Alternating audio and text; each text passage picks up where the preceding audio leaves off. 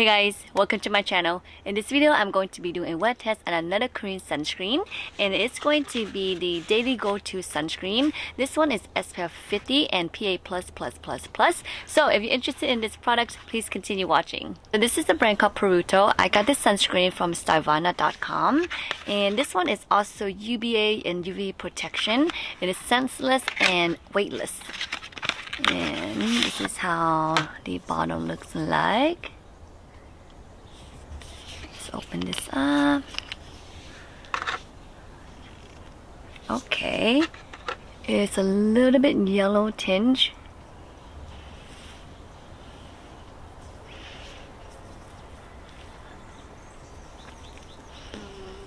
So far it feels very smooth on my skin.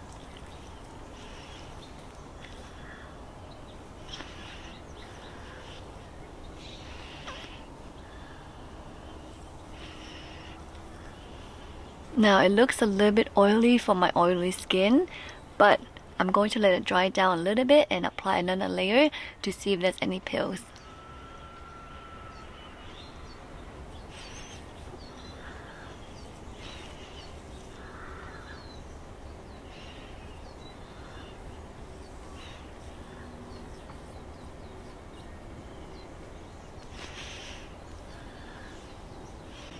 Okay, the sunscreen is very uh, creamy, very smooth.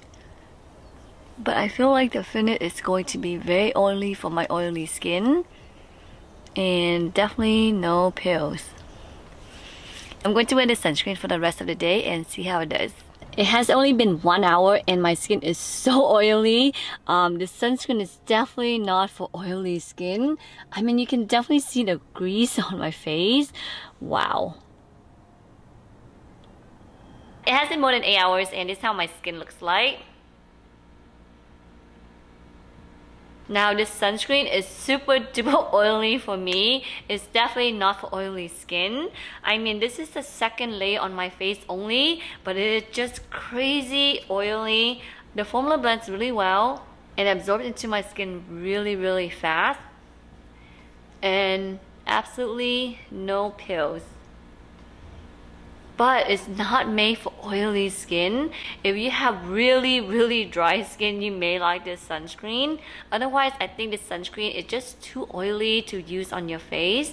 Just like one of my other Korean sunscreens, it is the Beauty of Joseon, and this is the Sun Relief Rice and Probiotics SPF 50 PA+++. This sunscreen is super oily. It's as oily as this Daily To Go sunscreen. And it has the same color, a little bit of yellow tinge and the consistency is very very similar. So this sunscreen I did not make a video because I did not like it right off the bat.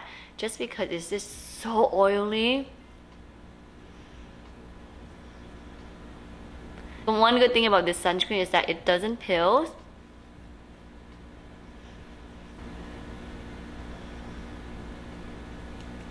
My current favorite Korean sunscreen it is my Aqua Balm sunscreen by Kahi. This sunscreen is on a matte side and it's in this packaging that is really cute and convenient to carry around. I can wear this sunscreen all day long and it doesn't get any greasy on my skin. And it's so easy to apply and carry around.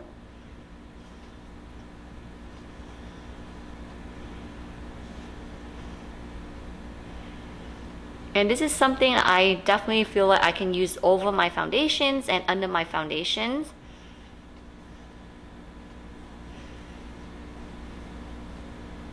Let me know what is your favorite Korean sunscreen. I would love to try it out. Otherwise, thank you so much for watching. Give this video a big thumbs up, subscribe to my channel, and like always, I will see you next time. Bye.